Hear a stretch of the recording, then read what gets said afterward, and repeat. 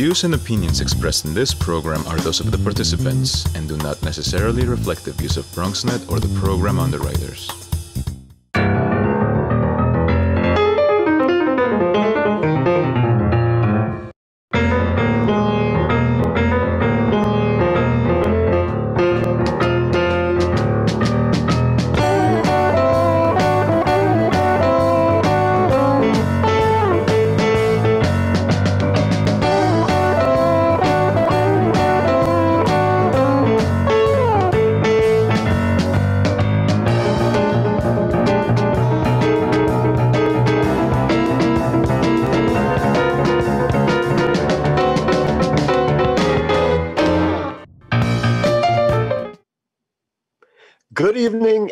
Welcome to Bronx Talk. Tonight we present the debate for the special election in the 15th Council District, which includes the Bronx neighborhoods of Fordham, Mount Hope, Bathgate, Belmont, West Farms, Van Nest, and Allerton.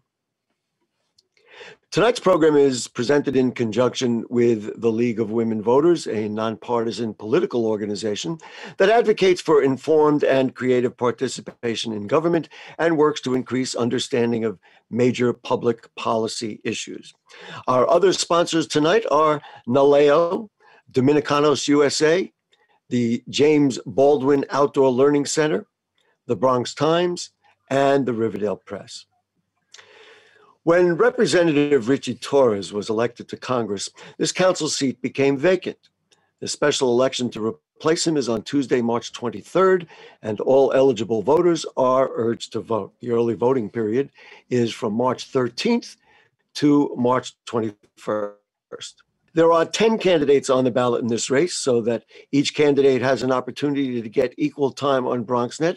We've split the panels into two five candidate sections each lasting for 45 minutes. Please note that to maximize fairness, the selections of each panel were done at random. So let's meet the five candidates who will participate in the first half of our 90 minute program. They are the district manager for Bronx Community Board 7, Ischia Bravo. Ms. Bravo, nice to have you with us. Thank you for having me. Uh, the president of the Van Nest Neighborhood Alliance and a member of Bronx Community Board 11 is Bernadette Ferrara. Ms. Ferrara, nice to have you with us. Uh, and associate board member at WHEDco is Latchmi Devi Gopal. Ms. Gopal, nice to have you with us. Thank you. Uh, the district manager for Bronx Community Board 6 is uh, John Sanchez. Thank you for joining us. Great to be here. And uh, also, uh, we got late note that uh, the other candidate who's on the ballot um, is Altagracia Soldevilla, and uh, she is um, unable to join us this evening, and we're sorry for her absence. Candidates in tonight's debate, I will direct a question to one candidate. That candidate will respond. All responses will be limited to one minute. Candidates will receive 30 and 15 second verbal warnings. Each candidate will then get one minute to respond to the question before we proceed to the next question. There will be no opening statements, but at the end of the program, each candidate will have one minute to offer a concluding comment that will be delivered in the same order as the questioning, uh, which, by the way, has been selected at random. Please note the questions and topics include some of those submitted by the candidates themselves. Uh, the same questions, by the way, will be asked in both of our two five candidate sections. By prior agreement, the first question will be directed to Ischia Bravo. Ms. Bravo, Bronx viewers hear from candidates all the time who are looking to be elected at all different levels of government. But this special election is for a city council seat. What are the characteristics of a top notch city council member? And are there any past or current that, if elected, you would take inspiration from? Thank you, Gary. That's a great question. Um, the best characteristics that a council member, incoming council member, can have is a grassroots approach. Someone that knows the fabric of the community, someone who has been working to better their community. I think that is definitely a good signal of what a good council member can be. Engagement and empowerment is what should be the center of the universe. We need to make sure that we engage voters as much as possible, especially in this council district that has such a low voter turnout. So we need to make sure that we restore the faith. So I think restoring the faith means that they elect a homegrown leader, so someone that they've seen that can lead to a good political system in the district for advocacy. Um, in terms of which council member in the past, uh, Diana Reyna from Brooklyn, she was elected quite some time ago, but is someone that I admired much because of her tenacity and hard work, and one of the first women of color to really be powerful in the city council. Well, thank you very much. Um, Ms. Ferrara, thank you for joining us uh, this evening. And uh, the same question about uh, the profile of city council members to you. Thank you. Thank you so much. Um, uh, I think the uh, the earmark of a really good city council person um, really is uh, being there, being responsive to constituents, to voters, being a problem solver, actually having the experience to get things done in the past, uh, showing uh, showing initiative, uh, and being very accessible. I've had the pleasure over the last 10 to 12 years of being involved with many city council people because Van Nest is split seconds. in half. We have two council people, we have two of everything. So um, the one uh, council person, Richie Torres, has been been uh, very accessible, and uh, he's a problem solver. And I really see that solving problems with common sense and uh, ways of getting things done are the most important things to show as a, a, city council person. So, thank you. Thank you very much, Mr. Sanchez. Uh, same question for you, sir. I think there's two important characteristics. One, they have to have great management skills in terms of hiring staff because the staff is who handles a lot of constituent concerns day to day. And I'm proud of the staff that I've hired that's been locally from the Bronx. Second, they have to be able to be a leader in the council when it comes to policy because the job entails passing legislation. Some council members that I take inspiration from include Carlina Rivera, who's introduced maternal mortality as a topic that needs to be discussed. And also Councilmember Keith Powers, who is in seconds. the top half of council members passing legislation and also going above and beyond the job description by negotiating on affordable housing settlement in Waterside Plaza. Thank you very much. Ms. Gopal, same thing for you. Yes, thank you so much for this question. I think a good city council member has to be somebody who is really rooted in creating a budget that is reflective of the community and has the political courage to actually push against the status quo and what's already happening as far as budget negotiations are going. Especially when you look at the Bronx, you're seeing a budget that is quite neglectful to the needs, the survival needs um, that our that our community actually must have and it needs to be political courage somebody who's willing to work with community organizations have a grassroots 30 approach seconds. And I look to city council members like Brad Lander in Brooklyn, who are not only um, being bold and saying no to budgets where it is clear that there's more money being and emphasis being putting on the policing of our communities than putting in our the education of our communities, but is also willing to work with those grassroots organizations to be seconds. able to um, really push for dialogue that is reflected from community decision making in our budget. And that's what's really important in a city council member. Thank you very much. Our next question uh, will go to start uh, with you, uh, Ms. Ferrara. The questions of when and how to reopen our schools are ongoing. What kinds of curriculum shifts, programmatic and testing adjustments, class size, and school choice options will be needed to get our kids back up to speed academically and, frankly, emotionally as well? Well, that's uh, like one. That's one of my number one priorities is education. I sit on the Youth and Education Committee, uh, and and for a reason. That's a priority. And now with the pandemic, uh, there the schools have to be reopened. There there's too many issues that are ha- coming up with our children uh, with the at home, uh, you know, of, of having their their broadband and everything else. Uh, there, there needs the schools need to reopen. They need to reopen with the um, the amount of children in each classroom, the teachers. Uh, we have to look at the curriculum. We have to see where they have fallen behind that needs to be addressed so children don't lose the year. So there's a lot of things to be looked at and put under a microscope, and it has to be done cents. swiftly.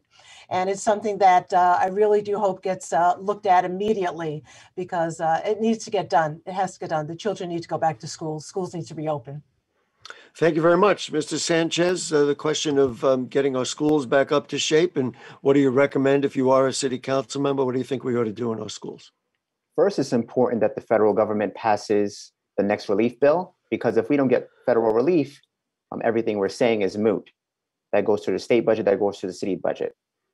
The city council needs to negotiate and make sure that we have accessible vaccination for our teachers and the other school workers in school so school can open in the fall. And I'm fingers crossed that that will happen. When it comes, comes to curriculum, we probably need to extend the school year. We need to have summer school available for all students, regardless of their grades, to catch up. And then lastly, 30 seconds. It's important that you know our high school students have opportunities to get in part of the summer youth employment program, have paid internship opportunities so they don't lose another summer. And then lastly, it's 15. important that we invest in you know, social workers, mental health care providers, and more teachers. Thank you very much. Uh, Ms. Gopal, I'm sure the issue of education has crossed your mind somewhere along the way. It definitely has. And specifically right now, we're looking at a huge di- digital divide that is having a significant impact on education and our students' ability to be successful, both academically and in regards to mental health and wellness. So, really um, shortening limiting that, that that divide by making sure that we are pushing the Department of Education and our city and state budgets to actually be investing in devices, investing in universal broadband, um, so that kids, especially recognizing that in District 15 specifically, where the 30 seconds. with the um, largest amount of unsheltered students. And so recognizing that we need to make sure that our students have the devices and the internet that they need. We need to be um, making uh, classroom sizes smaller. We need to hire and recruit culturally aware teachers, social workers, counselors, and mental health. The pandemic is not only impacting the academic success of students and their families, but also the mental health. And we need to make sure that we are um, expanding that access and resource right there in the schools um, and developing a plan where we have in participatory budgeting so that students and parents can make decisions with school Time. systems so that they're democratic. Thank you very much. Uh, Ms. Bravo, um, let's talk about education. Yeah, great topic. As the only mother in this race of school, uh, two young boys school age, I'm dealing with this personally. Um, we definitely need to reduce the class sizes. That's a big deal, but there's already a mandate from the state to do that. DOE has refused to oblige by those mandates, so we need to make sure that we hold them accountable making sure that we give free access to broadband, making sure that there are resources for our teachers. We need to restore teachers' choice. Um, the UFT has currently endorsed me because I've been a staunch advocate making sure that teachers' choice is baseline in the city council. We need to make sure that all schools are funded equally. District 10, this is majority of school of uh, District 15, they're not fully funded. We need to make sure that we have new, more guidance counselors, mental health professionals provided 15. in every school this it's not okay. We need to make sure that when we fully open our schools we're fully equipped to make sure that our kids are getting the resources that they need not only to thrive but to continue to be successful. Thank you very much. Uh, this uh, question next question will be directed to you uh, mr sanchez Let's talk about the, the process of rebuilding from COVID. This is a process that is certainly going to be an important part of the agenda of every city council member in uh, the coming months and even years. The city has increasingly used zoning as a tool to revitalize neighborhoods, a process that has not always been well received in the Bronx, especially to say the least. As it currently stands, is the zoning process the city is using an appropriate process?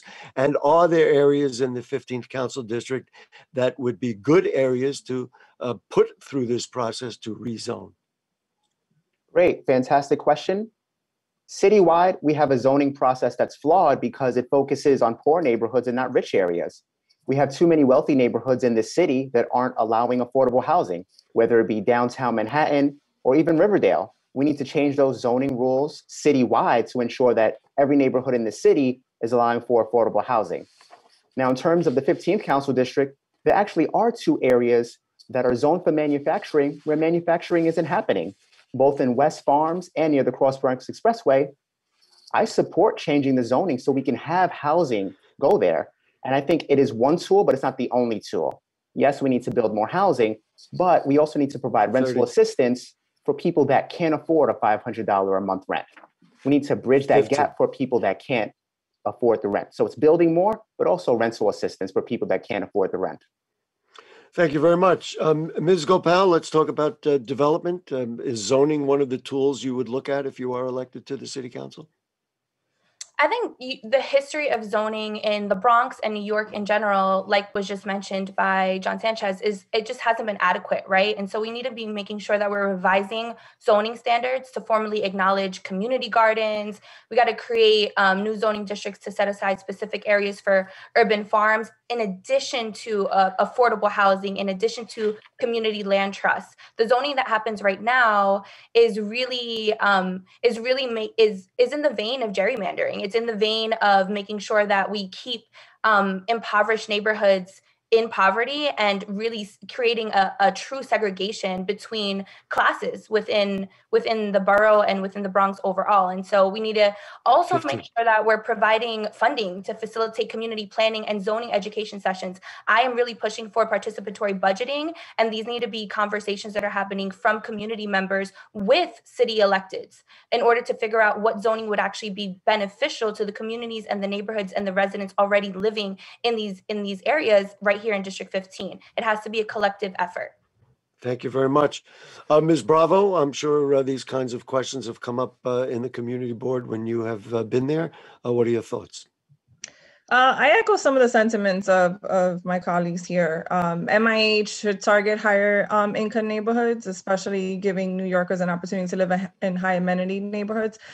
But we also need to keep in mind the fabrics of communities, right? We live in a borough that has been neglected in terms of services. So when, as we create more housing, we need to keep in mind that the local schools are not overburdened. And right now, most of the school district is. So while we talk about more housing, we also need to talk about equity seconds. in municipal services. And that includes our school seats, that includes our sanitation services, right? We need to take all those things into account. So while I support the creation of more affordable units, it also needs to happen hand in hand with our services. And we cannot forget the fabric of neighborhoods. I think that that's very, very important. And we definitely need to make sure that, you know, zoning happens with some opportunity of downzoning as well. Thank you very much. Uh, Ms. Ferrara, a, um, a very important question to many Bronx neighborhoods. What do you think? Well, uh, I will tell you that um, as, uh, Ms. Bravo, Bravo said, uh, being on the community board for over 12 years and being in many land use uh, meetings and discussing zoning, zoning is a very, very specific thing. At each neighborhood, each area, you need to listen to the community leaders, the community um, activists there, and you have to listen with 100% because they live there. They have to, they understand the issues. Um, and I do believe that some areas do need downzoning. I think it is something that it should not be taken very lightly. It needs to be discussed 30. and it needs to have a um, open ears on both sides. Uh, zoning can change the fabric of a landscape of a neighborhood very, 50. very quickly. And it's uh, and, and that leads with also with affordable housing and it's et cetera. I really do believe that uh, even when it comes to uh, uh, uh, schooling, in CEC 11, we're still owed 3,000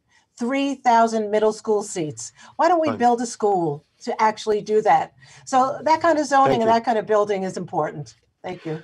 Thank you very much. Uh, let's go to our next question. And uh, for that, uh, we will first turn to um, Latchmi Devi Gopal, Ms. Gopal. Um, let's talk about uh, unemployment in the Bronx. The Bronx had been uh, doing considerably better with unemployment. It was down to 4.4%, which is frankly historic a year ago. Unfortunately, the pandemic hit and everything changed. And we're at more than 15% unemployed right now. It was as high as 16% just a month ago. What can be done to energize the labor market for the people of the Bronx and, in particular, the 15th Council District? Yeah, this is, is such an important question. And as um, you know, on the campaign trail and just being in the community in general, have been having robust conversations with small business owners.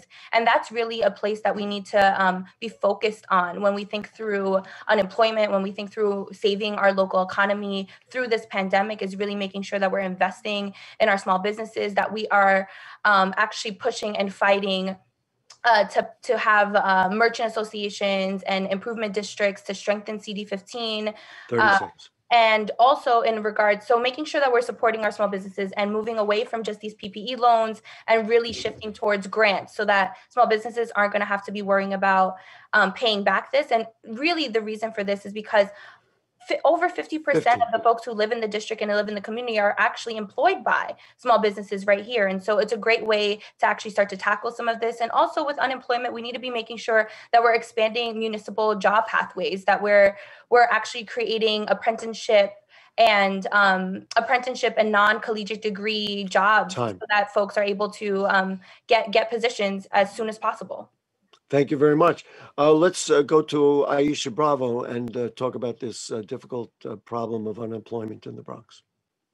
Yeah, it's definitely it, it's it's growing in the Bronx, especially during this pandemic, and we need to focus on what rebuilding looks like. Um, one of the things that I've been pushing as the district manager is making sure that all government subsidized project has a local hiring component and a union hiring component. Union jobs, as we know, is the best way to lift us to the middle class, and that we need to make sure that that's important to us. We need to support the creation and expansion of these union jobs. We need to create green jobs, um, so the workforce is trained for the green economy, which is the future. We need to make sure that we work with our community colleges and university to implement educational program for green jobs and apprenticeship programs. Those are big deals. They lead towards the participating and getting a good job in a trade. Uh, we need to promote safe work um, environments as well seconds. to increase outreach and engagement with civil rights protection. I think also preserving the jobs that we have and making sure that people have equitable um, representation is important. Thank you very much. Uh, Ms. Ferrara, let's talk about um, the labor market in the 15th Council District. Uh, yes, well, it's uh, it's a bit distressing at this point. Uh, I do believe, uh, as we speak right now, um, all across the country, states are opening up. They're opening up, they're taking away the mask mandates, uh, and really trying to get down to business and focusing on getting the economy back. Wherever it is, New York should be opening up. 100%. I feel that we need to keep uh, safeguards uh, in uh, in you know in place. So we need to be practical and common sense about it. But uh, these our small seconds. businesses right now need a lot of help. Uh, they're doing employments. Uh, they we they would be hiring. They need to come back in full speed. there needs to be focusing on different mentorship programs, vocational schools that are going to be out there, you know, available so that people can get jobs, but our small businesses are key, and also our property owners. Our property owners, we haven't got, none of us have gotten any breaks, and they're losing properties left and right. Uh, so a lot of things need to be looked at so people stay Time. in the Bronx. Thank you. Thank you very much. Uh, Mr. Sanchez, um, I guess it's to you then. Let's talk about jobs. Yes, this is, it's important for your viewers to know that each city council member gets about a half a million dollars to give to nonprofits in their neighborhood and about $5 million in capital funding. I want to designate that funding towards nonprofits that help Bronx residents get jobs in technology, even something as simple as a commercial driver's license. I spoke to the Teamsters two weeks ago and they said they have a shortage of commercial driver's license holders. They can't hire, even though they're able to hire. The city council should be funding these training programs so we can get people back to work. On a local level, I've already spoken to the big institutions, Fordham University, the Garden, and the Zoo, and they're committed to hiring people from the neighborhood. And it's important that we work with these large institutions so we can get people hired. And the last thing is it's important that we renovate the old Fordham Library and finally turn that into a tech development center so 15. people can get jobs and trained in that neighborhood. That site has been vacant for too long, and it's time to finally redevelop it for the neighborhood. Thank you very much. Uh, let's um, move around and um, uh, go back to um, Ms. Bravo. Uh, let's talk about uh, the NYPD among the ongoing debates in the City Council. And a question that will surely continue to come up at City Hall is police budgets. Whether you want to call it defunding the police or simply allocating, reallocating resources, what is your division on crime fighting budgets in relation to other less direct initiatives like community centers and social services? So my vision for public safety is one that's centered you know with public safety and community partnership. We definitely need to revitalize the participation community precinct councils and build the block sector meetings. I feel like a lot of community residents are not participating and we need to reimagine what that looks like. We all can say we can reimagine public safety. Advocate for increased funding for violence interruption programs like cure violence programs like brag in my district or rtc i think it's very important um, reimagine the role of police seconds. in areas including mental health crisis response and intervention within our schools. I would advocate for more increased transparency for NYPD data. I would also call on the City Council to be included in the selection process of the police commissioner. And lastly, we need to strengthen CCRB's recommendations um, for the investigations on police misconduct. Thank you very much. Uh, Ms. Ferrara, let's talk about uh, policing in the city of New York and certainly in the 15th. Yes, thank you. Um, I really do believe that we need to um, add more funds for the policing. Uh, I think there's a lot of training, et cetera, that needs to be done, whether it be mental health, dealing with uh, EDPs, just dealing in difficult situations. I think there needs to be more money put towards there. If there's any question about the funding, I think that we need to look at areas where it can be reallocated. Uh, but taking away money from the police, I, I do not support at all. I see just here in uh, 49 precinct, we have uh, in our community, we advocate any community board 11. We are at all the precinct meetings. Uh, we have one-on-one meetings with the captains and all of the uh, uh the NCOs, etc. We're at the Build a Block meetings. We get people involved with the Build a Block meetings. We think it's so important uh, to, to have that information out there and to know what resources people can do for themselves. And I think that the police need, if they need to, and they, they do not need to get extra insurance, I'm sorry, to um, cover them personally. I think they're out there enough um, and needs to be looked at. Thank you. Thank you very much. Um, Mr. Sanchez? I think it's important that we take a step back and realize that the NYPD needs to be under civilian control and needs to be enforced. If you walk past any precinct, you'll see a bunch of cars parked on the sidewalk, double parked, triple parked. No tickets are given. And that's just a small sign that gets people upset when they see that the police department isn't held accountable. So yes, I support the CCRB findings being, you know, binding, but also we need to change the union contract to prevent officers from being able to harm people on camera. Big picture when we're talking about the budget, yes, the best way to avoid crime is to invest in job opportunities so people don't have to look towards crime. So 100% I support that. I don't think we need to be growing our police 15. force think we need to be growing our workforce. Thank you very much. And uh, the final word on this question will be with uh, Ms. Gopal. Uh, let's talk about policing. Definitely. Well, you know, our communities are over criminalized and over policed. And so we really need to shift towards divesting from law enforcement in the vein of ending mass incarceration. And we got to need to end racist policing and the school to prison pipeline. And really, how we do this is by investing directly into community led solutions that actually protect us. We need to expand a civilian report board so that we're able to actually um, hold police officers accountable to the way in which they um, they are policing our communities. We need to make sure that they're held accountable. We need to have young folks on precinct councils so that they are having relationships with um, they're having direct relationship with what it means to reimagine safety in our communities. We've got to demilitarize the police and go, work towards funding cure violence 15. or investing in more psychological training for EMS. Really, what is at the core of the problem here is that police officers are tasked with things that they shouldn't be tasked with, and we need to be shifting towards investing in the mental health of our communities and give and making Time. sure that we're we're able to do that by having elected civilian review boards and thank you. Just, thank you. Okay. Sorry, sorry. We just want to be fair, make sure everybody has the same amount of time. Uh, candidates, we've come to the last question, and after this, we will do our uh, closing statements. Uh, but for this final question, it will be first directed to uh, Ms. Ferrara. Uh, last year, the city decimated culture budgets by 60%. The full expenditure on these programs is a paltry $6 million for the entire city. Mm-hmm. Yet there is extensive data that programs like music and art keep children in school, keep them engaged and focused, and improve their SAT scores. It also lowers crime, especially youth crimes. These are important staple programs that have been cut for thousands of Bronx children. If you are elected to the city council, will you make a commitment to fund music and arts programs to keep crime down and help children achieve in schools? Thank you, Gary. That is such a great question. Oh, I'm an artist at heart. I have been an artist since I was three years old uh, and it into my profession. Uh, uh, one of the areas that we try to do in our community is to bring programs with the Citizens Committee. We try to get art programs in that basically engage uh, elders, seniors, young children.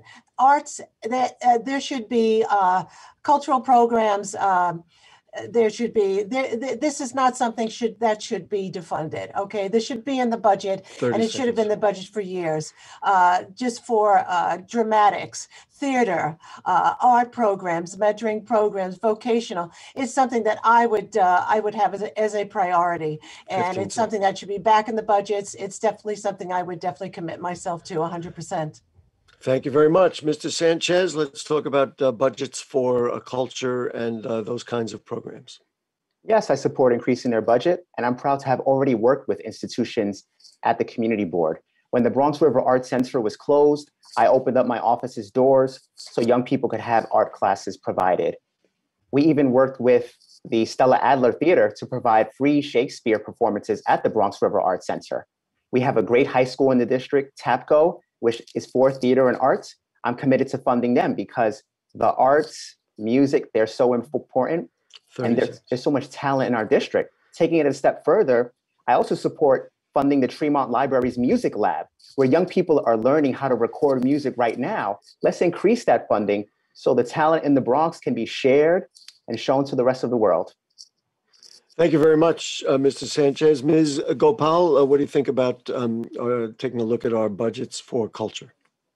Yes, definitely. Absolutely. We need to make um, a direct investment into the culture budget. You know, I went to middle school, elementary school right here in the Bronx and actually was able to learn how to play the saxophone and the clarinet. And that was so transformational for me.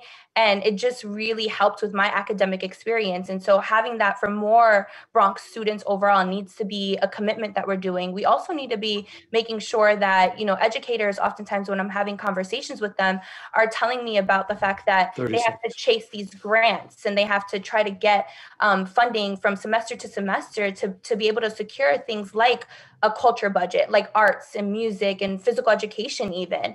And that I find ridiculous. It needs to not only be funded and invested in, but has to be guaranteed from year to year.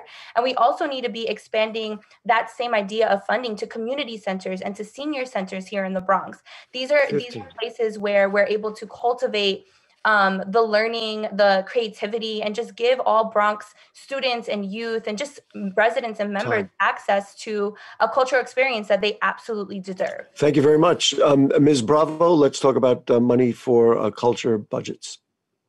Oh, absolutely. It's proven that students that study art and music are more, are four times more likely to be recognized for academic achievement, and that's something that we need to push for. Um, in terms of the school district, what we've seen is because of the need of new of of more seats in the district, those classrooms that initially provided music and art have also been used um, for the expansion of that. So we need to be mindful of those things as we expand these programs. We need to also demand that we get our over two, I, I believe since 2018, the study came out, it's over 2,000 seats that were old. 30 seconds. We need to make sure that as we expand our schools, we also expand these programs. We need to make sure that we invest in the next generation. And I agree with John. We need to make sure that we invest in the talent in this district and make sure that we're, we're keeping the kids out of the street. 15. Okay, thank you very much. Uh, candidates, we've come to the time in our program when we will uh, give you one minute to deliver a closing statement. Uh, I will say uh, in advance, uh, Ischia Bravo, Bernadette Ferrara, uh, John Sanchez, and Latchmi Devi Gopal, thank you so much. Our viewers will know we're going to have the next five candidates who are running on the ballot in this um, special election right after we do our closing statements. So the first closing statement in this portion will be from you, Ms. Bravo. You are muted. Do it again. The wonders of Zoom. Uh, thank you for having us. This is great conversation. Um, great to share the stage here with my colleagues and, and to represent District 15. My name is Ischia Bravo, and I'm a candidate for the New York City Council. And in my closing, I'll share that I'm a, not only born and raised in this district, I was born in the local hospital, attended our local schools. I am a mother of two. i am raising my children here. I'm invested. I've dedicated 16 years of my life to public service because I believe in the Bronx. I believe in this district. I've been able to hold developers accountable to make sure that they hire locally, make sure seconds. bring union jobs into the district. I've worked with our teachers, our principals, I've made sure I defended our workers' rights, especially on construction. And I plan to be that voice in City Hall that will defend us and carry us through. We are going through a pandemic 15. and we need to make sure that not only we recover, but we get past it. And we need leaders that know what they're doing, that know us, that know the city's budget, know the flaws of the city's agencies. I can hit the ground running from day one. And I am that candidate. So whoever's watching, come out and vote March 23rd and vote Bravo number one. Thank you very much. Uh, uh, the second uh, on our uh, closing statements will be you, uh, Bernadette Ferrara. Thank you so much. Uh, my name is Bernadette Ferrara. I'm a lifelong resident of the Bronx. I've gone to school here in the Bronx. Um, whether we're, we all want the same thing. We want economic stability, good schools, good neighborhoods, and safe streets. I will bring the same dedication and commitment to the city council that I have brought to my community, to my community board that I have for the last 15, 20 years. I'm a founding member of the Nest Neighborhood Alliance, started uh, and been its president since 2015. I've been on the community board 11 since 2008. I've dealt with housing, economic uh, stabilities, uh, economic development, and also youth and education. Uh, look for me on Ferrara for 15. That's the number 15. If you want practical, common sense uh, reasonings to uh, solutions to common uh, community issues, vote for Bernadette Ferrara on March 23rd as your first choice. I am your voice for City Council. Thank you. Thank you very much. Uh, Mr. Sanchez. Thank you, Gary. My name is John Sanchez. I'm running for City Council to make the 15th Council District a neighborhood where people can stay here, remain, and raise their families. And I've already had a track record of going above and beyond the job description. We've transformed the community board, having the only year round paid internship. We sponsored open gyms for young people during the summer. We connected with Fordham University to provide people with resume help and interviewing workshops. We've even done a scholarship contest for young people. And it's important when you're electing the next council member that they have seconds. a specific plan for the district. That means renovating the old Fordham Library on Bainbridge Avenue. That means finally bringing a youth recreation to Tremont Park. And that means investing in the Workforce One centers in our district. I'm ready on day one. I have a track record, seconds. and I'd love to have your support. I'm just a kid from 184th and Park Avenue, and I hope on March 23rd, I have your support so we can make this the best district in the city. Thank you. Thank you very much, uh, Mr. Sanchez. And the final, final word will go to uh, Latchmi Devi Gopal. Ms. Gopal. Thank you so much, Gary. Again, my name is Latchmi Devi Gopal, also a candidate for District 15 right here in the heart of the Bronx. I'm a daughter of the Bronx, a daughter of Guyanese immigrants, and also a community organizer. And what you get when you vote for me for city council is somebody who's been doing the work of pushing elected officials to actually do their jobs and to be accountable to the community priorities. I have helped win a $15 minimum wage. I've passed fair fares and a better bestest program through my work at Riders Alliance and really centering transit justice. And I was most recently a national organizer on the Bernie 2020 campaign. I love the Bronx and I am dedicated to making sure that we are having a, a culture at City Hall that is dedicated to group decision making, something that is is rooted in community and community insight. And so we're expanding that decision making table. I am dedicated to fighting for what families deserve affordable housing healthcare better transit small business support and more public jobs. And i know we deserve more and i know we can together build a better bronx. And please vote for me on march 23rd as your first choice Thank you very much. Candidates, you have exemplified the best of the democratic process, especially in the Bronx, and uh, we appreciate it. And uh, what we are going to do is we're going to take a short break. There are five more candidates uh, running for city council, and uh, we'll uh, basically rerun it, but uh, do it with five different people, making sure everybody on the ballot gets an opportunity to be seen and heard on BronxNet television. So Ischia Bravo, Bernadette Ferrara, John Sanchez, and Latchmi Devi Gopal, all of you, thank you for joining us. And uh, we'll take a break. We'll be right back.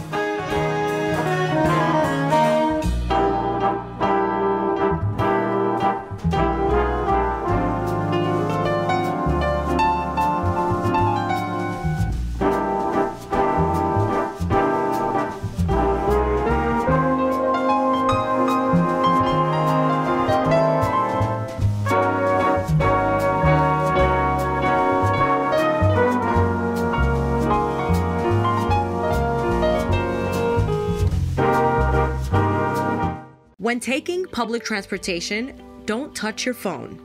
Carry hand sanitizer and use it immediately upon leaving the bus or train. Avoid touching your face. If someone is coughing or sneezing, move away. Wash your hands with soap and water as soon as possible. Limit contact with poles. If possible, avoid rush hour. Don't eat or drink on public transportation. Keep your bag off the floor or other surfaces. Avoid directly touching turnstiles. Stay up to date with the latest from your local health department and CDC.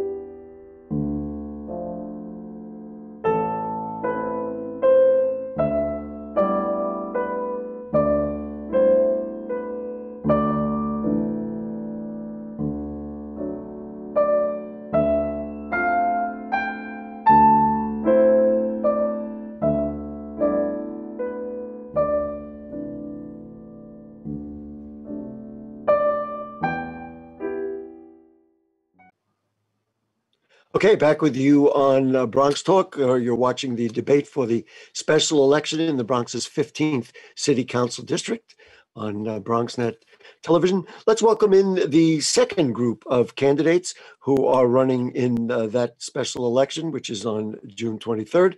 Uh, we'll start with the Deputy Chief of Staff of uh, New York State Senator Jamaal Bailey. It is Kenny Agosto. Mr. Agosto, nice to have you with us. Thank you, Gary. Long, long time a fan. I appreciate that. Um, and um, let's uh, take a look at uh, our second candidate, uh, the educational uh, liaison at the Bronx Borough President's Office. It is Elisa Crespo. Ms. Crespo, thank you for joining us.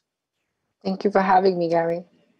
And the tenant lawyer is Oswald Feliz. Mr. Feliz, nice to have you with us, sir. Thank you, Gary, for having me and Bronx Talk for organizing this forum. Thank you so much. The uh, Democratic male district leader in the 79th Assembly District uh, in the Bronx, it's Jose Padilla Jr. Mr. Padilla, thank you for joining us. Thank you for having me, Gary, and uh, thank you to the sponsors and BronxNet as well. Appreciate that. Uh, also, um, the uh, fifth candidate is a community health worker. It is Ariel Rivera Diaz. Mr. Diaz, thank you for joining us. Thank you for having me, Gary.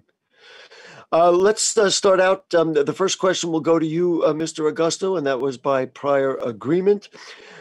Let's talk about uh, the city council. Bronx viewers hear from candidates who are looking to be elected at all levels of government. This special election is for a city council seat.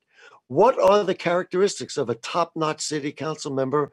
And are there any past or current ones that, if you are elected, that you would take inspiration from? As to you, Mr. Agosto.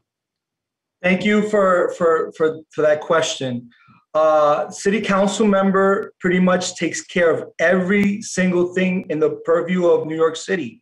Unlike state legislature and and federal legislature, they have the schools, they have the roads, the infrastructure, the police department, the teachers, everybody that's that has to do with everyone is is under that purview. A good city council member is a good legislator at city hall but even more importantly, is a great community liaison uh, to the constituent services of the district.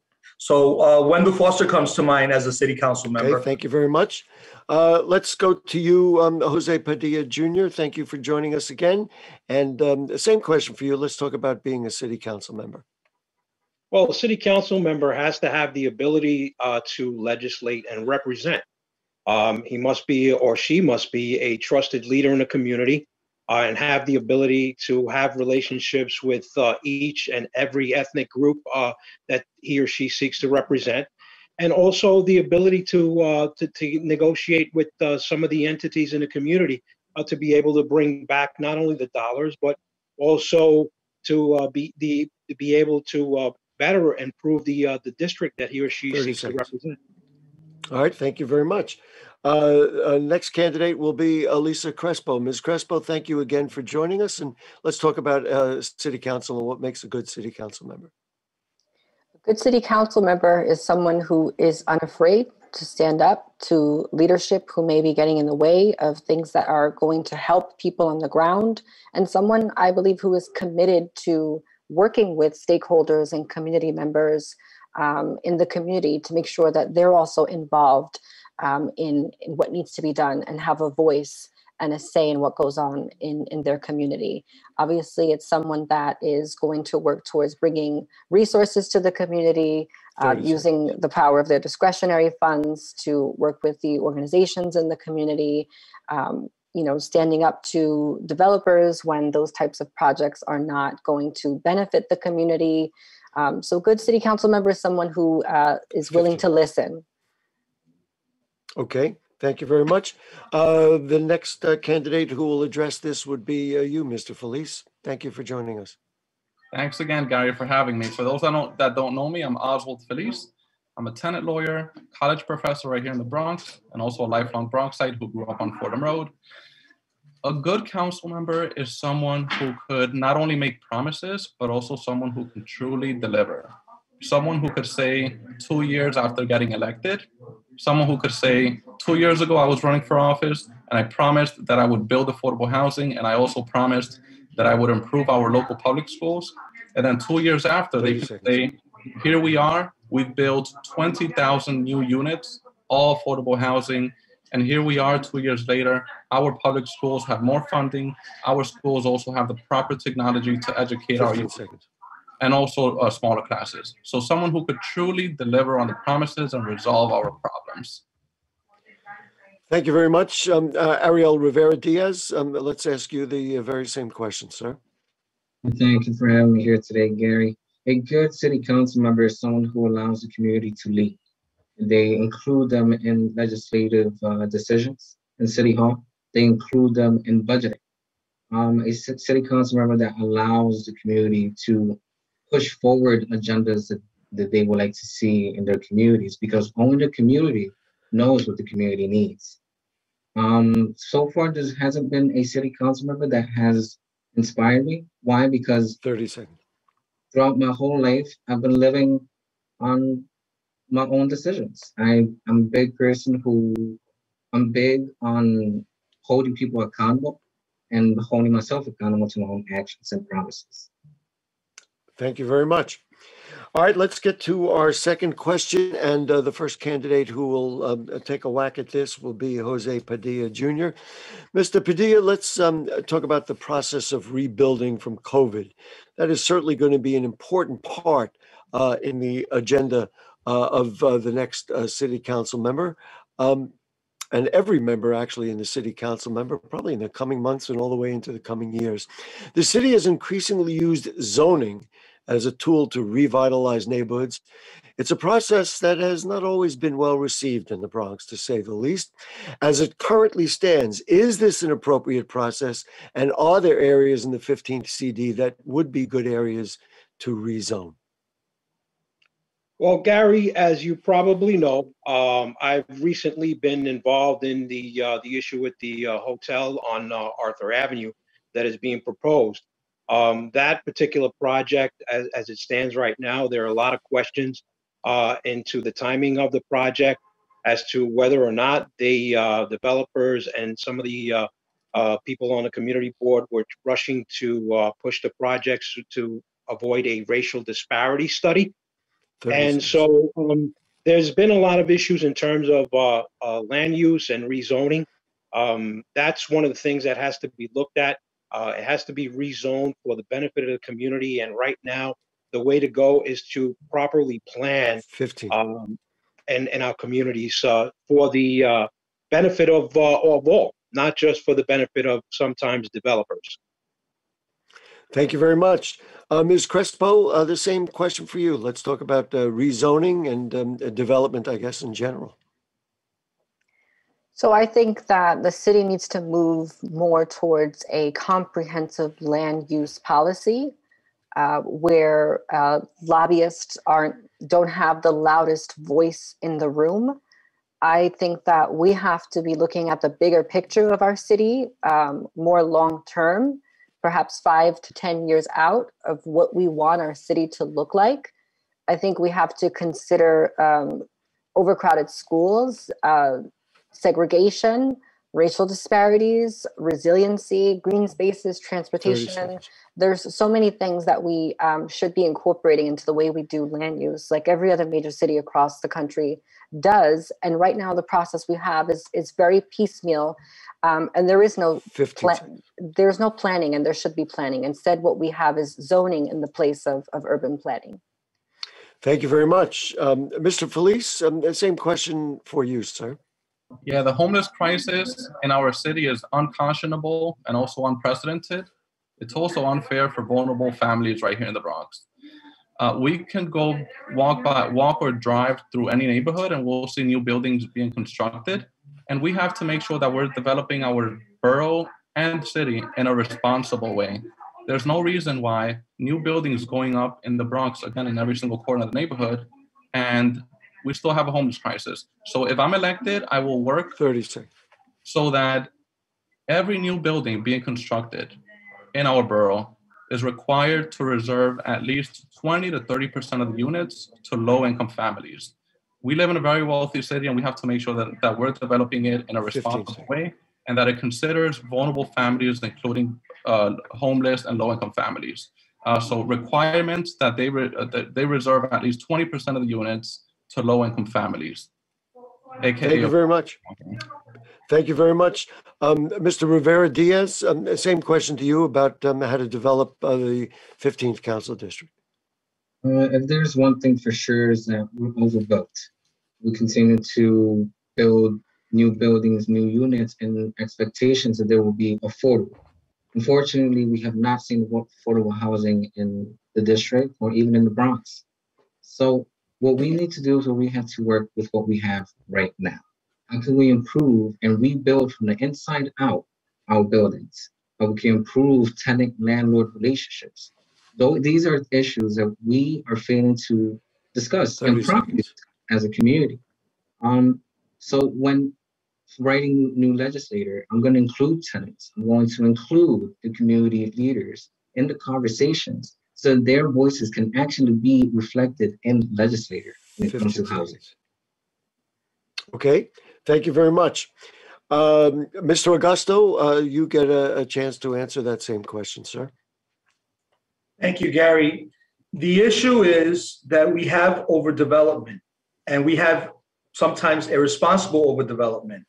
The, the, the city needs to regulate how do we do that? Through the ULURP process, through the city planning, and through the community boards. But it's the city council members, the board president, and the mayor that makes these decisions. So we want to make sure that if we want responsible development, if we want a, a real hotel rather than a hot sheets motel, if we want something affordable, truly affordable, it has to it has to go through a process that is going to be responsible. There are good actors and bad actors, and as city council member, I will be working every day. That's why I'm not taking any money from any landlords nor developers. Thank you. Thank you very much. Uh, that concludes the, the, responses to this question. And so we will address um, uh, the next question to um, Ms. Crespo. The questions of when and how to reopen our schools are ongoing. What kinds of curriculum shifts, programmatic and testing adjustments, class size, and uh, school choice options will be needed to get our kids up to speed, uh, both academically and emotionally? Well, part of the, the problem was there was a real lack of a sense of urgency uh, in terms of being prepared to open our schools. We had the entire summer of last year to prepare um, for the fall, and we didn't do that. We didn't incorporate educators, we did not incorporate students or parents. Um, there was a, a real uh, sort of um, very unclear instructions given to principals. Um, we've already had initiatives to reduce class sizes that the DOE is not following, and that we have to we have to mandate that they do follow. Going forward, that's going to be super important. But in general, um, Bronx students are getting the short end of the stick, particularly special education students, District 75 students, um, uh, students with 504 plans. We need to fully fund the public schools so that Bronx students can get the same quality education, remove uh, punitive disciplinary practices, and remove uh, uh, uh admissions practices that prevent uh, folks like in the Bronx from getting into uh, great schools and that exacerbate segregation. Time. Great, thank you very much. Uh, let's talk education with Oswald Feliz. Mr. Feliz? Thank you for the question. New York City and state has the most inequitably uh, public school funding system in the country.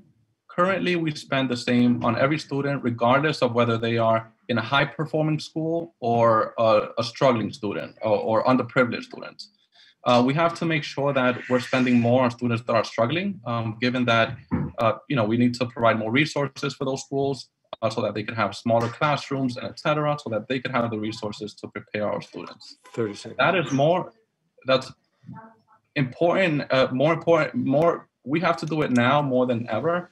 During COVID, that inequality has been worsened and now it's more important than ever that we bring that funding so that we could have those smaller classes so that we could get all students up to speed, especially considering that uh, the fact that they were delayed even more due to coronavirus and remote learning with very lo- uh, sh- short notice. Thank you very much. Uh, let's uh, uh, ask the same question of Mr. Rivera Diaz, sir. Um, my campaign has always been about rebuilding.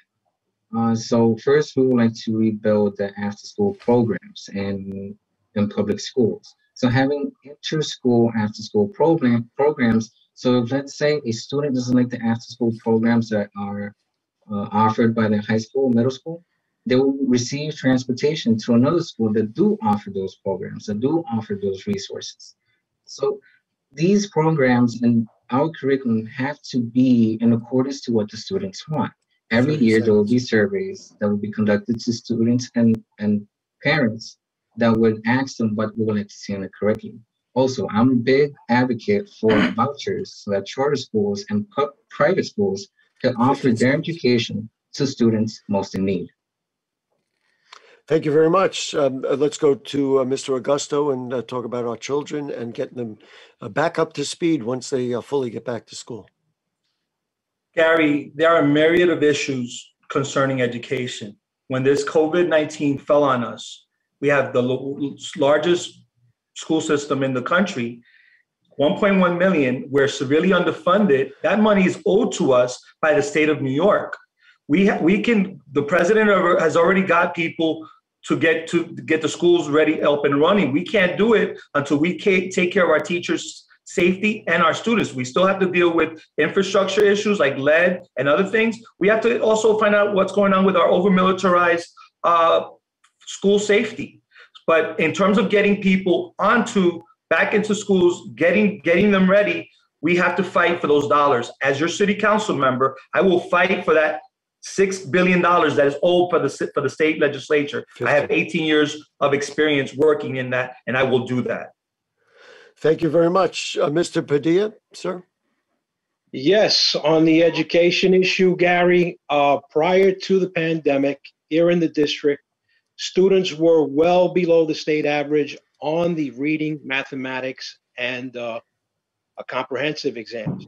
Right now, we do not know how these children are going to be able to perform and try to get back up to speed. Um, that's why I am supporting the uh, the issue of giving them the exams to find out where we are, not utilize the results per se to, but to uh, to, to to make decisions, but to study how far below our children are. Um, you know, the, the, the schools have to be open for social uh, interaction amongst our kids, for sports, and it's it, it's part of being a, a, a growing up and and and part of uh, basically having a childhood, and that is presently being taken away because of this emergency. So I think that we have to open up the schools and Time. find out where we are, where our children are. Thank you very much, uh, sir. Um, let's uh, talk about uh, jobs and unemployment. And uh, the first um, uh, candidate will uh, who will respond to this will be um, Oswald Feliz. Mr. Feliz, the Bronx had been doing considerably better with unemployment down to 4.4 percent just a year ago. Unfortunately, the pandemic hit and everything changed, and we're at more than 15% unemployment right now. It was as high as 16% last month. What can be done to energize the labor market for Bronxites? That's for you, Mr. Feliz. Yeah, we have to make sure that we're hiring locally. Uh, for example, there's new buildings being constructed in every corner of the Bronx. We have to make sure that at least, given that we have a need for employment in the Bronx, we have to make sure that jobs in the Bronx are at least half of them are going to people in the Bronx. We have a compelling interest. Uh, people in the Bronx are vulnerable to many issues, including unemployment, including at risk of eviction due to the coronavirus. So we need to prioritize the 30 people in the Bronx. Um, when creating employment, we have to make sure that these jobs are going to the people in the Bronx. Thank you very much. Uh, let's uh, uh, talk to uh, Mr. Rivera Diaz, sir. Let's talk about uh, unemployment, jobs, getting Bronxites back to work. Well, we need to offer affordable, if not free, um, trade programs to Bronxites.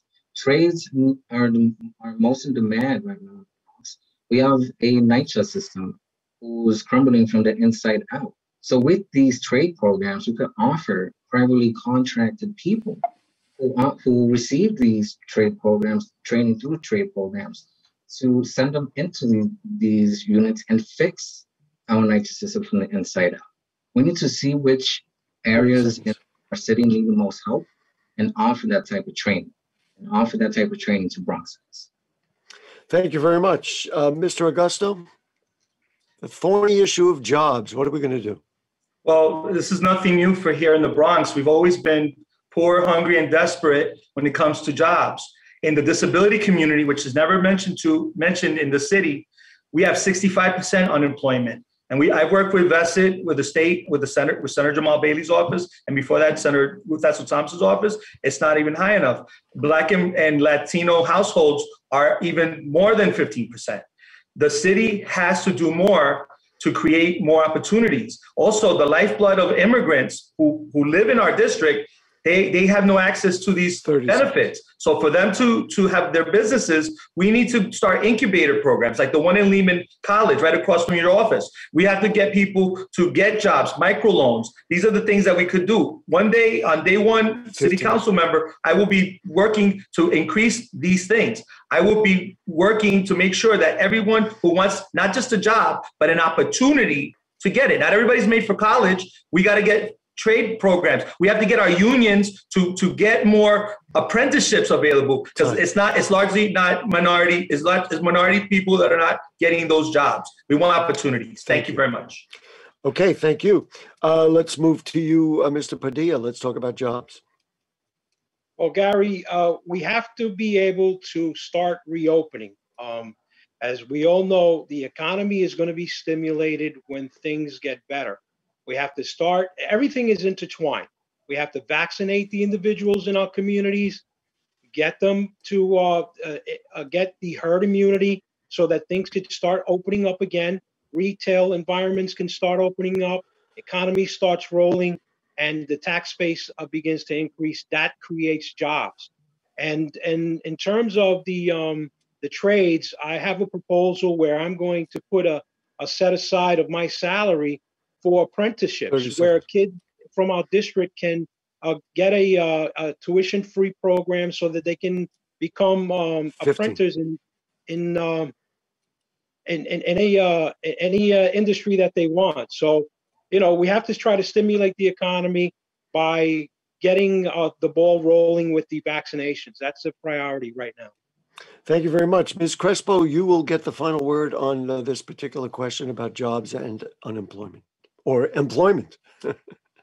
look, unemployment is is has always been high in the Bronx. West Farm, East Tremont is over 15%. Um, this is an issue that is not just impacting adults, but also youth. 25% of, of youth in the Bronx, 16 to 25, are out of work and out of school. So we have to think about the next generation of Bronxites. We have to invest more in workforce one centers. We need a universal year round youth employment program, not just something that happens over the summer. We absolutely have to do more with vocational training. We understand that this is a district where a third of people have less than a high school education. We need work based learning. There are incredible groups like Here to Here that are doing that, that have public private relationships. But we also need to utilize tools that we often overlook. The private sector alone 50. cannot eradicate unemployment. We need to create a public option for employment. We have to create pipelines for targeted vulnerable populations into city service jobs that come with the benefits of organized labor, like health health benefits, like pensions. That's how we help people in the Bronx. Thank you very much. Uh, let's um, move ahead to uh, Ariel Rivera Diaz. Um, sir, this question is about um, the NYPD and uh, crime fighting. Among the ongoing debates in the city council, and a question that will surely continue to come up at city hall is police budgets. Whether you want to call it defunding the police or simply reallocating resources, what is your division, uh, your vision, excuse me, what is your vision on crime fighting budgets in relation to other less direct initiatives like community centers, social services, and things like that? Uh, well, first, I'm big on having community policing, assigning specific police officers to specific specific parts of the neighborhood, because only people inside the community, like I've said before, know the community. So police officers know the community, they, they will be able to interact a lot better with the people from that community. Secondly, we need to expand the police academically, um, I'm sorry, athletically, uh, which offers resources and which has offered countless and I would say priceless benefits to our youth here in the 30 seconds. We have one in Webster, which I've walked past multiple times. And unfortunately, I don't see much activity coming in and out, even before COVID. During pre-COVID times, like unfortunately we have to call it pre-COVID, I've never, I really have not seen these benefits being expanded in our community. So what we need is to uplift our youth from the ground up. Thank you very much. Um, uh, Mr. Agosto, uh, let's talk about uh, crime fighting and uh, the NYPD. Well, Gary, you know, we in the Bronx, we lived here all our lives, and I was born in this district. I've seen people die in front of me. I've seen police trying to do their best, and I've seen sometimes when when some members of the police NYPD aren't doing what they're supposed to be doing. We, I'm not a one-word answer. We can we have to demilitarize our police. We have to create different programs. I was part of the PAL. I was part of the the the you know working with the explorers. We need we need to work together, like like Senator Jamaal Bailey at Caps Lock, opening understanding and, and participation in the civilian uh, civilian academy. We need we need understanding with each other. And in terms of allocation of resources, we need more more money for after school programs. We need something for the kids to do. If they don't have anything to do, they're going to do their own thing. So we're going to do this. As city council member, you better believe I'm going to be working to create the the foster the way to get everybody to connect with each other and make sure that the budget that we vote on in that city council member items will go to the to the community. Thank you very much. Uh, same question for you, Mr. Padilla. Well, at this point, Gary, uh, I'm the probably the only one with uh, experience in law enforcement from this group and from the uh, 10 candidates. Um, I am committing myself to going on a line by line budget review of where the money is going to, what uh, particular uh, uh, segments of the NYPD the, the, the money is going to. And then we have to understand that, Gary, in our communities right now, we have a serious crisis where elderly people do not want to go out after seven o'clock. They need the police. 30 seconds. We have short resources in some of the precincts with high crimes in some categories. And so, therefore, we have to find that balance in order for us to meet the needs of the district in terms of policing, but at the same time, meet the overall, uh, you know, uh, outcomes 50. of the NYPD. Okay, thank you very much. Um, Ms. Crespo, let's talk about uh, uh, crime fighting and keeping people safe in the city of New York and in the 15th Council District. There are some people who feel safe around police, um, others do not. And the difference is stark between those two groups. Um, we do have to do more to make sure that we have young people on police precinct councils so that they can know personally um, who their officers are. But never has there been a time where we have to reinvest and refund people in low income communities of color than now.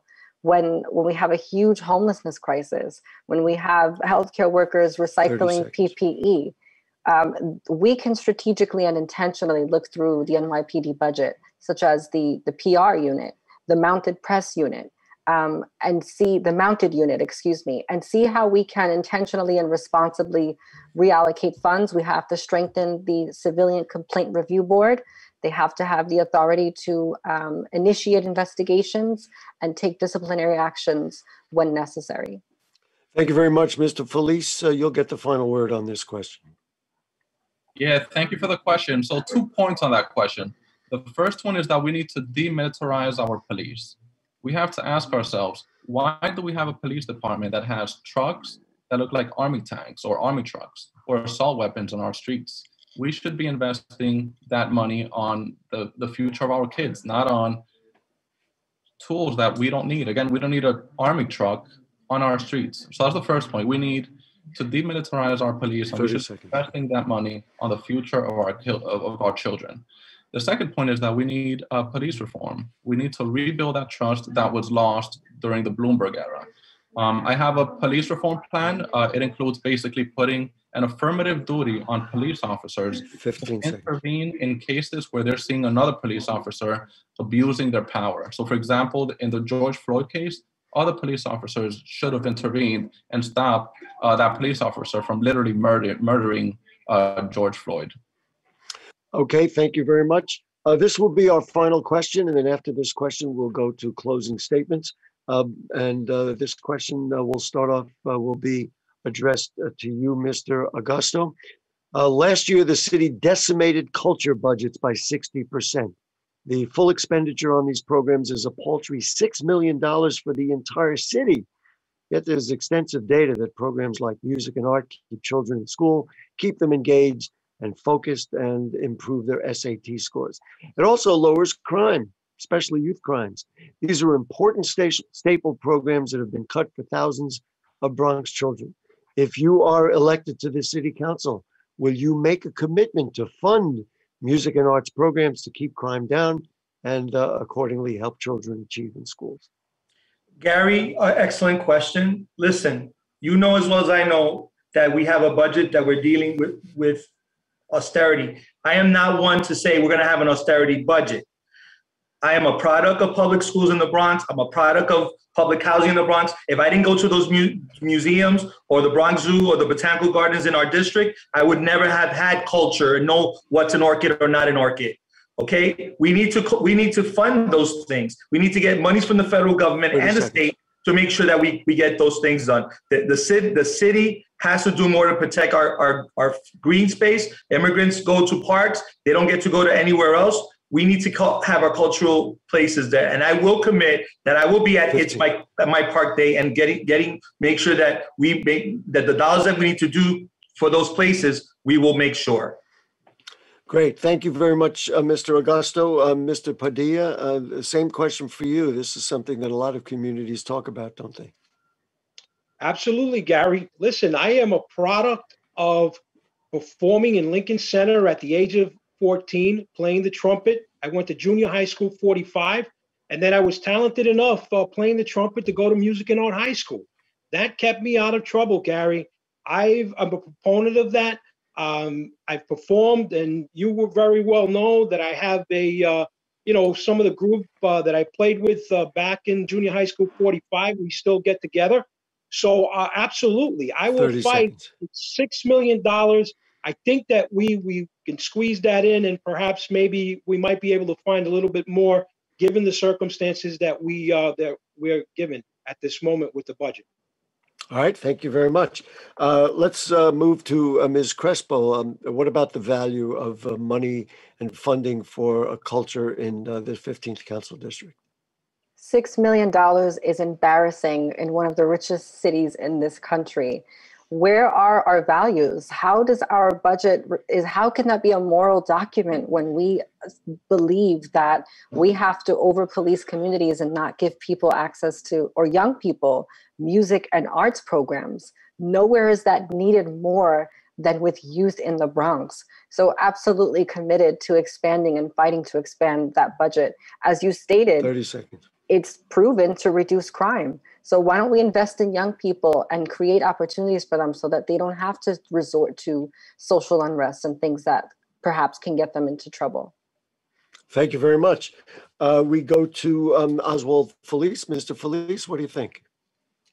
Yeah, absolutely. We absolutely have to fund those programs and we actually have to expand those programs our children are our future and we have to make sure they're you know we're properly preparing for the future so we need to expand those programs. Um, i would also note that you know we could our city could either step up and deliver for vulnerable families or we could continue to make excuses. Our city is wealthy. Um, we have the funds to expand on those programs. We also have many wealthy people many who don't pay a cent in city taxes and sometimes even in federal taxes. So we need to go after those very wealthy individuals who aren't paying anything in taxes and use those funds to fund these programs that will truly prepare our children for the future. Thank you very much, um, uh, Mr. Rivera Diaz. Um, you'll get the final word here. Uh, yeah, that will play in part with my after school program program. But um, yeah, that, that, that would fall in, under that. Why and how? Because these programs are already supposed to be part of a curriculum and they're supposed to be offered as an option to our students. It's weird and a bit absurd why these programs aren't being offered as options in our high schools. Not once during my tenure in high school was offered an art or music program in my high school. So that will play a part and it will be part of my platform in my after school program platform, an inter-school after school program platform that would expand these, these resources and benefits to the students. Thank you very much. Candidates, we've come to that uh, moment in the program where we will give you a chance to kind of summarize and uh, deliver a closing statement. Uh, we will continue in the same order we have uh, been doing those. And so the first uh, closing statement, you have one minute, sir, and that will be uh, for Kenny Agosto. Mr. Agosto? my name is Kenny Agosto. I've been a veteran of state government, delivering tens of thousands of hours of constituent services for the better part of two decades. I've been a community activist on the front lines working to make sure that we have criminal justice reform, that we have truly affordable housing, that we have our mom and pop businesses not get priced out or overdeveloped into different things like ice skating rinks and other things that are not necessary. We're here to work with the community. I was born in the district in Belmont, raised in Bronx public housing and schools. 30 seconds and I will work. I will continue to work. I will empower our communities. This is not about us. I'm Democrat for City Council. Please vote row D. Empower people. Rank choice one, first choice. And it, press that kennyagosto.com, that red button to donate one or two dollars, or blue button for volunteer. You can volunteer. Let's be part of a movement. Let's do it now. On day one, one of us is going to be the, the city council member this April. Let's get to work. Thank you very much, Gary. Thank you, Mr. Agosto. Appreciate uh, your time this evening. Uh, the next closing statement from Jose Padilla Jr. On Tuesday, March 23rd, uh, you, the voters, will have a choice a choice of continuing the decline of the stability of the district or a choice to invest, invest in our communities for the benefit, the success, and the prosperity of all. I'm asking for your vote as your number one choice because we know what has gotten us where we are right now. And all of the same candidates are running in this race. Have played a huge role. Actually, two of the candidates in this row uh, have played a huge role in the decline of this district and mismanagement. I have done the job, stood up for the community, and taken the special interest at heart. My name is Jose Padilla Jr., and I hope I can count on your vote on the 23rd. Thank you. Thank you very much, sir. Uh, and uh, let's see, Elisa Crespo will uh, deliver the next closing statement. Ms. Crespo, thank you for joining us this evening. Thank you, Gary. We have a really unique opportunity this year to elect a new city council that reflects the people in our community, that reflects the diversity of our neighborhoods. We absolutely deserve more. We deserve a social contract that guarantees that our government will ensure everyone has access to a home, a living wage, and an education. My, can, my campaign represents the upending of the status quo, uplifting unrepresented and marginalized communities who have been shut out from the political process for too long. This is about electing a new generation of bold leaders, free from the politics of the past, who will bring systemic change that we need. I'm a fighter. I've had to fight all my life to be taken seriously and to be in these spaces. I'm serious and committed about 15. this work, and I'm asking for your vote on March 23rd. Vote for Elisa Crespo on the Jobs and Justice ballot line. Thank you, Gary. Thank you very much. Uh, Mr. Feliz, uh, you will uh, uh, have a moment now to deliver your closing statement. Thank you, Gary and Bronx Talk, for organizing this forum, and thank you all for watching. I'm Oswald Feliz, running for City Council, and if you live in District 15, I am asking for your vote. I'm a lifelong Bronxite. I grew up and live on Fordham Road, come from very humble beginnings. My mom and dad worked every single day of their lives as a taxi driver and as a home attendant. And I've spent my career improving my community of the Bronx. As a tenant lawyer, I've defended our most vulnerable residents at risk. As a college professor, I've taught reading and writing and political science to struggling students. And now I'm running for city council because the problems in the Bronx only continue to accumulate. I'm running for city council because we need affordable housing so that our families in the Bronx could be stable. 15. We also need safe street, safe streets. Public safety continues to affect our borough, and we also need equal opportunity for every child who wants to succeed and be prepared for the future. If you live in District 15, I'm running to represent you. Vote for change. Vote for Oswald Feliz on March 23rd. Thank you very much, sir. And then the uh, final word of the entire program uh, will go to Ariel Rivera Diaz. Mr. Diaz, your closing statement, sir. Thank you for having me here today, Gary, and thank you for all the other candidates for participating. I'm running because we are in a point of history to rebuild the Bronx. The Bronx has seen a lot of issues even before COVID, and COVID only made those issues worse. From now on, we need to rebuild and we need to focus on recovery. How do we recover as a community? How do we recover? How do we recover as a borough? If elected, or when elected, 30 seconds. I will give the people the voice that they have that have been silenced for far too long. I am running for those who pay taxes but cannot vote. I am running for those students who wonder where they're going to sleep at night. I'm running for you, the people. 15 seconds. The people who work day in and day out, sacrificing their livelihoods so that they can give themselves and their families a better future. Thank you very much. And uh, thanks to all the candidates uh, for participating, the five who participated in the first half of the program, and uh, to uh, right now Kenny Agosto, Jose Padilla Jr., uh, Elisa Crespo, Oswald Feliz, and Ariel Rivera Diaz. Um, candidates, while you might not agree on everything, I know that you will agree with me that every eligible voter should vote on March 23rd. Please note that there is an early voting period from March 13th to March 21st, and uh, this is a ranked choice voting election, so you'll need to indicate your top five choices on your ballot. For more information, visit vote.nyc. Also, we want to thank our collaborators, and we've had many of them, and we really appreciate it. Uh, the League of Women Voters has been a partner with us for many years. Uh, for more information, please call the League at 212 725 3541. Also, thanks to tonight's co sponsors. Uh, they are Naleo, Dominicanos USA, the James Baldwin Outdoor Learning Center, the Bronx Times, and the Riverdale Press. Now, folks, next week we'll have the debate for the special election in the 11th Council District. We thank you for watching and to remind you again, please uh, make sure that you vote on March 23rd.